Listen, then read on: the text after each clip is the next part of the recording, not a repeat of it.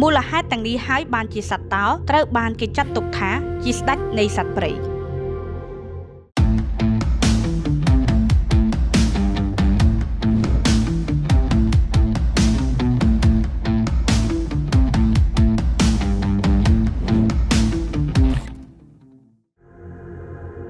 សត្វតោគឺជាសត្វព្រៃដ៏ធំមួយដែលមានដើមកំណើតនៅទ្វីបអាហ្វ្រិកវាក្បាលមូលត្រចៀកមូលនិងមានរោមពីក្បាលទៅចុងកន្ទុយរបស់វាសត្វតោត្រូវបានគេចាត់ទុកថាជាស្ដេចពីព្រោះតែគ្រប់គ្រងលើទឹកដីដែលពួកគេរស់នៅនឹងសត្វដទៃទៀតទាំងអស់ដែលរស់នៅជាមួយគ្នាតោខ្លះអាចមានទម្ងន់រហូតដល់500ផោនឬជាង200គីឡូក្រាមនិងអាចមានជីវិតរស់នៅរហូតដល់ទៅ15ឆ្នាំ ចរិតពិតប្រាកដរបស់សត្វតោគឺជាការចាប់សត្វដទៃទៀតដូចជាសេះបង្កង់គោព្រៃមកធ្វើជាចំណីអាហារតោជារឿយៗតែងតែសហការជាមួយគ្នាពួកគេដទៃទៀតដើម្បីចាប់សត្វធំធំដូចជាក្របីរហូតដល់សត្វក្រពើសត្វតោញីជាធម្មតាតែងតែចេញទៅប្រមាញ់រកចំណីអាហារ សត្វតោរស់នៅជាមួយក្រុមដែលមានរហូតដល់ទៅ15ក្បាលនិងមានតោឈ្មោលវ័យជំទង់3ក្បាលសត្វតោគឺជាស្ដេចសត្វព្រៃដោយសារតែអំណាចនិងកម្លាំងដ៏មហិមារបស់ពួកគេសត្វតោមិនខ្លាចសត្វផ្សេងផ្សេងទៀតនោះទេសត្រូវតែមួយគត់ដែលតោខ្លាចនោះគឺមនុស្ស